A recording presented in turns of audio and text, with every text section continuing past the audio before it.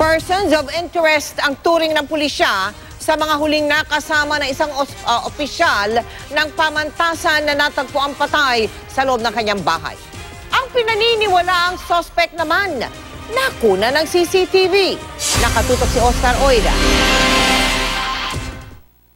Sa video na ito nakuha sa Barangay 1 Concepcion, makikita ang lalaking naglalakad pasado alas 4 ng madaling araw kahapon. Siya ang pininiwalaan ng Marikina PNP na suspect sa pagpatay kay Dr. Alfred Dimaano ng pamantasan ng lungsod ng Marikina. Ang tao na ito ang nakita ng barangay official na kasabay na pumasok sa bahay ni Dr. Dimaano.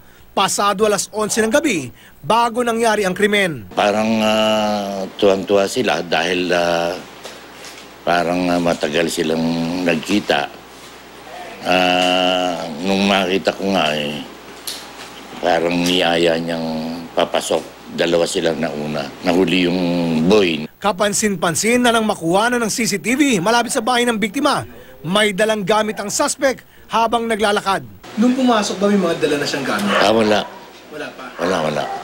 Una nang nabanggit ng Marikina PNP na pagnanakaw ang isa sa mga tinitignang motibo sa krimen pero hindi inaalis sa investigasyon ang personal na buhay.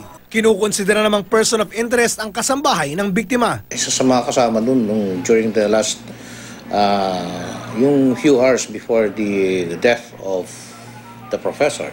Sinubukan namin kunan ng pahayag ang kasamahan sa bahay pero pagod na raw ito at tumanggi ng humarap sa media. Gayunman, sa panayam sa kanya kahapon, ikinwento niya ang tungkol sa lalaking huling nakasama ng biktima. Isa pa sa inaalam ng pulisya ang karera ng biktima sa pamantasan. Pwede po kasi siyang uh, may naiinggit kasi po uh, we heard na isa siya sa mga contenders na next na president ng uh, pamantasan Pero ayon sa pamantasan ng lungsod ng Marikina, malabo raw ang sinasabi ng pulis. Hindi ko po nakikita yung politika sa loob ng pamantasan dahil maganda yung working relationship dito sa loob ng university. Hindi naman maitago ang lungkot ng mga kaibigan at kasamahan sa trabaho ni Dr. Dimaano. Labis ang kanilang panginayang sa dating Vice President. Napakabait po niya, napaka matulungin at saka kinukonsider po namin siyang expert sa education leadership. Ang ama ng biktima, di pa rin makapaniwala sa nangyari. Kung sino man gumawa, sana makonsensya siya. Kasi pangit yung ginawa niya.